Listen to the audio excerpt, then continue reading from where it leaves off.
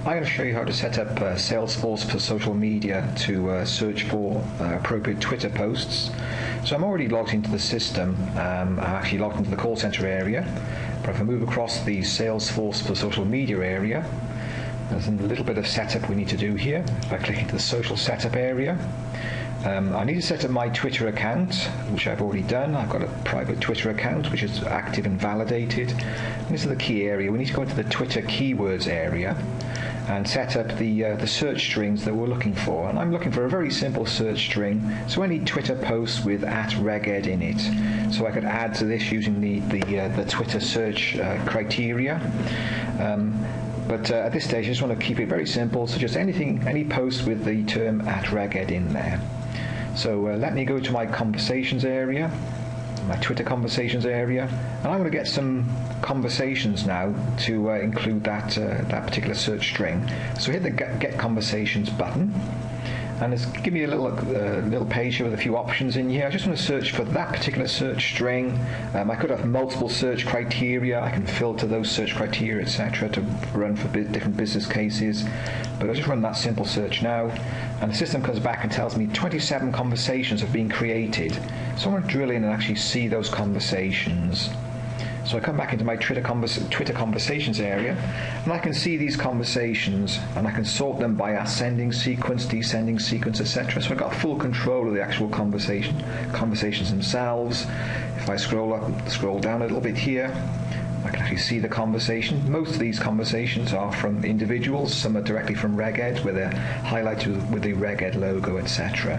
And these are actual live Twitter feeds. So uh, the feed to the top of the page here are actually live from today, 10:05. I'm working in the, in the Pacific time zone. Um, I want to show you a couple of options that we've got here to actually uh, handle these live Twitter feeds. I want to be sensitive to the fact they are live, so there's only a few things that I'm going to actually show you during the actual course of the demo. But if I select this particular feed here, this is actually a feed here from uh, an author called Lorraine Carver. It looks like she's actually retweeting something, and I've got a number of different options I've, i can handle. I can I can use to handle this particular uh, Twitter post.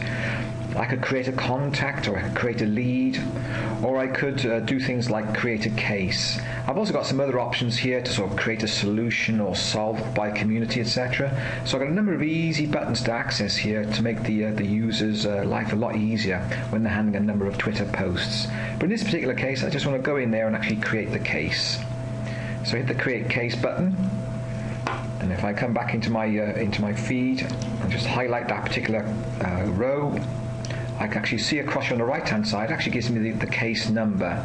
So I can drill directly into that case number. But just before I do that, I actually want to go in and actually show you the actual live uh, Twitter conversation that's been, that's been captured.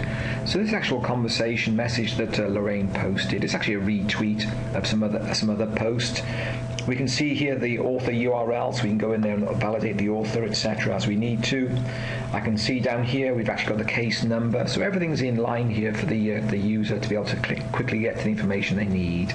We can also see the actual Twitter search that generated this particular uh, conversation.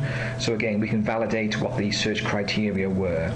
And in, in, a similar vein to the previous screen we had, uh, we saw rather we've got a number of buttons we can uh, we can use to actually manage this particular conversation. We can delete it, create a contact, add to campaign, etc.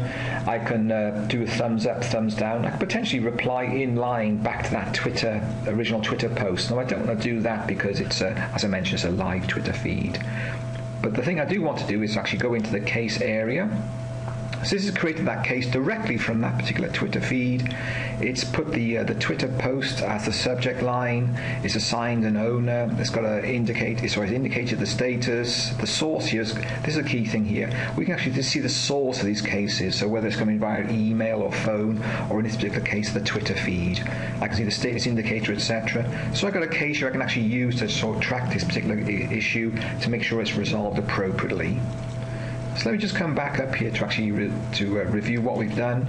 So we start off in the, in the conversations area and uh, we can actually mark each of these conversations so we can flag them for, to create a case or create a lead etc and we can drill into the original post. So it makes it very easy for a user to be able to use this Salesforce for social media to appropriately handle the, the Twitter post to make sure the, the appropriate responses are going back to the originators of those posts.